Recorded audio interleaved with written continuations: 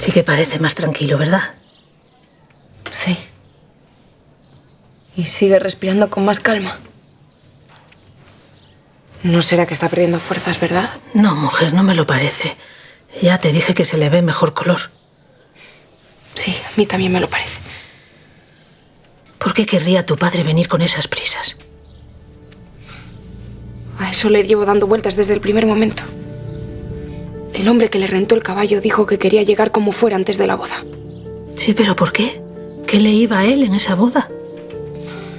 Yo no sé si ando equivocada, pero empiezo a pensar que mi padre podía saber algo que hubiera impedido esa boda.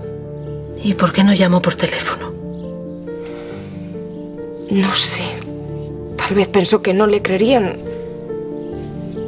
O traía una prueba consigo. Pero tú no encontraste nada en sus ropas. Jesús. Este hombre cuando despierte nos va a tener que aclarar muchas cosas que solo él sabe. Aunque tal vez Tal vez que.